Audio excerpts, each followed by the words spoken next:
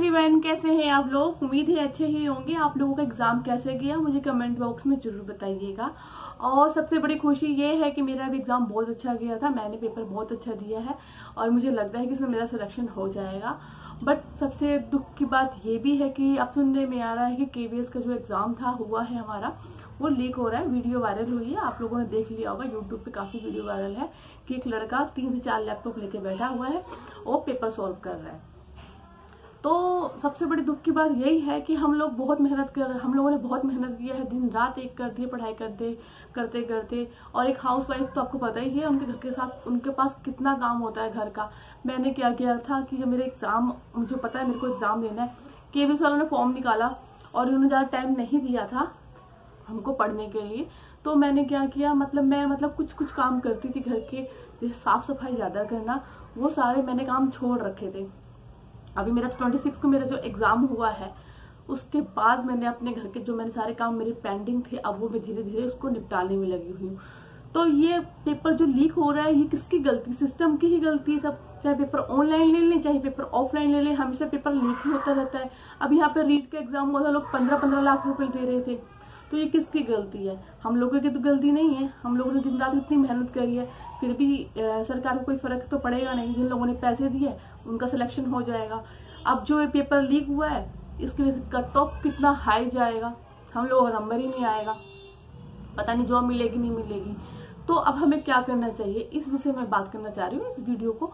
आपके लिए काफ़ी हेल्पफुल होगी तो आप ये वीडियो ज़रूर पूरा देखना। तो सबसे पहले अब हमें क्या करना चाहिए? हमारा केवीएस का एग्ज़ाम हो गया है। और मेरा ट्वेंटी सिक्स को हुआ था, आज ट्वेंटी सेवन है। तो ऐसा लग रहा है कि मतलब सर का बोझ सा उतर गया हो मेरे पास कुछ है ही नहीं करने के लिए, पढ़ाई लिखाई के लिए। तो आप लोगों को भी ऐसा लग रहा होगा फील ऐसा हो रहा होगा। तो आप ऐसा ना सोचें, अभी सुपर टेट की वैकेंसी आने वाली है डी ट्रिपल की वैकेंसी आने वाली है। वैकेंसी आपको सुपर टेट की डी ट्रिपल की वैकेंसी बहुत जल्दी देखने को मिलेगी। और डी ट्रिपल की वैकेंसी आपको शायद अप्रैल तक ही देखने को मिल जाए। तो आप अपनी पढ़ाई कंटिन्यू रखें। और पढ़ाई को मत छोड़े। मैं भी अपनी पढ़ाई कंटिन्यू रखेंगे। कहते हैं कि जो अगर आप धीरे धीरे धीरे मेहनत करते हैं तो आपको उसका रिज़ल्ट ज़रूर मिलेगा। आप मेहनत करना बंद ना करें। अपनी पढ़ाई को कंटिन्यू रखें सुपर टेट की वैकेंसी आएगी डी ट्रिपल एस की वैकेंसी आएगी तो आप उसको फोकस करना। अभी केवीएस का जो हमारा एग्ज़ाम हुआ है, उसका तो हमें पता नहीं क्या होने वाला है, कि हम लोग का होगा कि नहीं होगा, क्योंकि अभी केवीएस की तरफ़ से कोई भी ऐसा उन्होंने कोई रिएक्शन नहीं दिया कि कोई रिएक्ट किया हो या कोई रिएक्शन या मतलब आगे से कोई नोटिस दे दिया हो कि एग्ज़ाम दोबारा होगा या क्या होगा, क्या नहीं होगा। अब एग्ज़ाम दोबारा लेंगे, इसके लिए हम लोगों का ही लॉस है। क्योंकि पेपर अभी तो ठीक ठाक आ रहा था।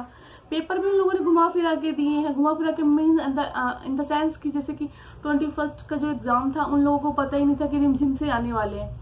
रिमझिम से क्वेश्चन दे दिए, पाँच से छह क्वेश्चन बेचारे तुक्के ही मारते रह गए। और जो लास्ट में थे, उनके तो मज़े आ गए हम लोगों ने तो कर ही लिया। हम लोग को जब पता चला कि रिमझिम से क्वेश्चन आ रहे हैं तो हम लोगों ने थोड़ा सा पढ़ लिया।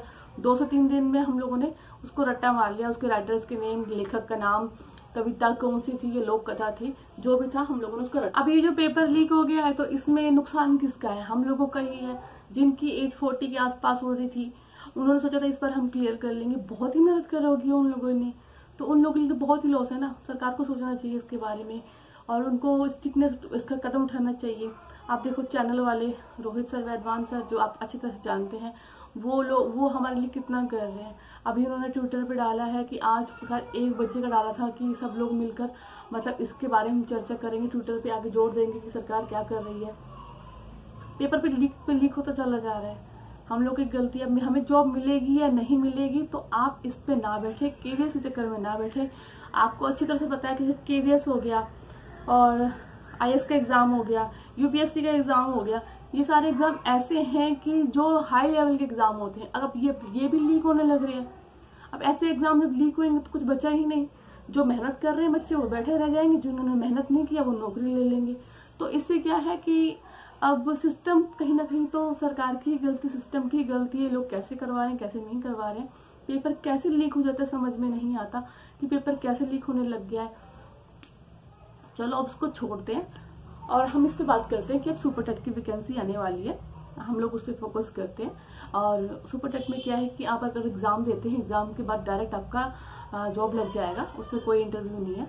और आपका जो सीटेट का एग्ज़ाम हुआ है, उसके कुछ परसेंटेज अब उसमें आपके ऐड होंगे तो आप अपनी सुपर टेट की तैयारी करें के की तैयारी सॉरी ट्रिपल एस की तैयारी करें। और अपनी पढ़ाई को कंटिन्यू रखें। आप मतलब डिसपॉइंट ना हो कि पेपर लीक हो गया है, क्या हो गया, ये तो चलता ही रहेगा। तो अब मैं, मैंने आगे की मेरी क्या स्ट्रेटेजी है कि मैं अब के सुपर टेट का मेरा ज़्यादा फोकस है। सुपर टेट की मैं तैयारी कर रही हूँ। अब मैं उसकी वीडियो में आपको बना बना के उसके मोटिवेशन वीडियो लेकर आऊँगी ताकि आप भी उसको, उसके, मैं मतलब किस तरीके से तैयारी करूँगी, इस पर मैं वीडियो बना बना के अपलोड करूँगी। और अगर आप चाहें तो मेरी वीडियो को आप देख सकते हैं। अगर आपको अच्छा लगे तो आप आगे शेयर भी कर सकते हैं ताकि जो हाउस वाइफ काफ़ी सारी जो डीमोटिवेट हो गए हैं, जिनके घर वालों ने उनको बहुत मुश्किल से एग्ज़ाम देने के लिए भेजा और तैयारी करने के लिए बेचारों ने कैसा टाइम निकाला अपने लिए। घर वालों उससे कितनी बातें सुनी है। तो उन लोगों के लिए बहुत ही मतलब हेल्पफुल वीडियो होगी। और किस तरीके से तैयारी करनी है, मैं एक एक वीडियो बना के डालूँगी अगर आप मेरे चैनल पे न्यू है तो आप सब्सक्राइब भी कर सकते हैं। अगर आपको मेरा वीडियो अच्छा लगे तो आप लाइक भी कर सकते हैं। और यूँ ही आप अपना मतलब प्यार देखाते रहिएगा मेरी वीडियो पे, ताकि मैं आप ऐसी वीडियो बनाती रहूँ। धन्यवाद।